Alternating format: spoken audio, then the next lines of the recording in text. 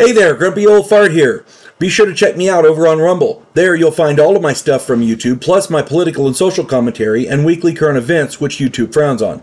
Links to my Rumble channel, as well as my other YouTube channels, and links to let you order my books are in the description of this video. If you enjoy my content, please like, subscribe, share, and comment. I welcome your comments, even if you disagree with me. Now, on with the video. Hey there, Grumpy Old Fart here. I'm doing a Recon the role playing game story. I'm calling it Fugitive, Fugitives from Injustice. I don't usually like to tackle social issues in tabletop role playing games, but there's one social issue that needs to be tackled in any arena, and that issue is racism. I'm not a believer in systemic racism because even when our forefathers wrote the De- Declaration of Independence, the colonies who supported slavery had to force the rest the, the rest to allow it by withholding their endorsements of that quintessential document. The Civil War was fought because the Southern Democrats wanted to keep their slaves, and the Northern Republicans, the abolitionists, had to force them to stop that abhorrent practice. Now, that being said, they, there are racists, they are evil, and they need to be opposed at every opportunity. Now that the, now that the soapbox has been safely stored away, get on with the story. Years ago, my friends Ray, Jerry, Larry, and Earl were playing with me in my friend Kevin's game. Kevin ran a good game. He was an excellent, excellent uh, game master, mission director, dungeon master. He was imaginative and always found ways to put us in awkward situations, and those are the ones you like. You know, if you're prepared for every contingency, nothing surprises you. But if you're not, everything surprises you. In the game, we had just finished a mission as mercenaries and we were heading back to Texas. That's where we were based. We were driving from Florida and were passing through Georgia in 1974. Yeah.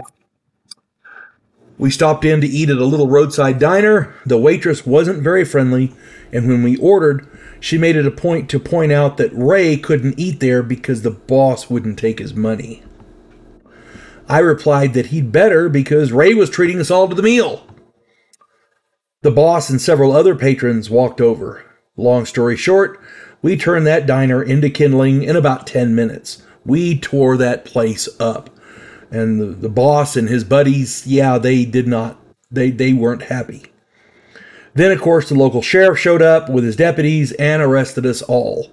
You, you can be the best fighter in the world, but guns are the great equalizer. That's why I'm a big advocate of women getting your concealed carry.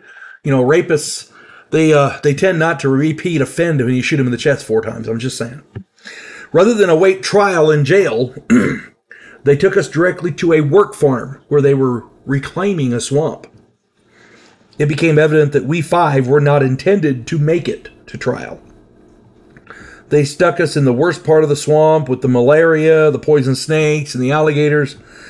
Mistake they made was giving us shovels and picks we, of course, clocked the guards and ran for it. Vietnam was a great teacher on how to survive in a swamp, let me tell you. it took us six days, but we were able to make it across the county line. That sheriff lost four deputies, but we made it. We caught a ride to a courthouse and pled our case. Turns out, we were not the first people who had escaped that farm. The sheriff had a penchant for making undesirables disappear in that swamp. Being wealthy mercenaries, we hired the best lawyers and proved our innocence. Then Ray ran, with our help, and became the governor. That sheriff found it difficult to operate with four special investigators directly from the governor's office, hounding his every move. It was awesome. he finally got angry enough to pull his gun on us, and we were forced to defend ourselves. Ah, that was justice there's justice in this world and there's injustice in this world. And one of the big things you got to do when you're when you become an adult is figure out which. And and you know kids need to know it too but you have to know it as an adult. And if there's an injustice you got to fix it.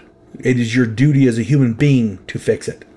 If you see somebody uh, practicing racism you need to stop it there's a lot of people these days who call everything racism, and that deludes real racism, and it's a slap in the face to the people who have suffered real racism.